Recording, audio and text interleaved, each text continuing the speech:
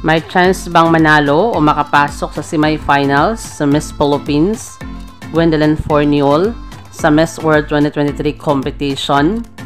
May ilang pageant fans ang naniwala na posibleng makakapasok sa first cut ng competition, si Gwendolyn Forniol, pero di daw ito mananalo.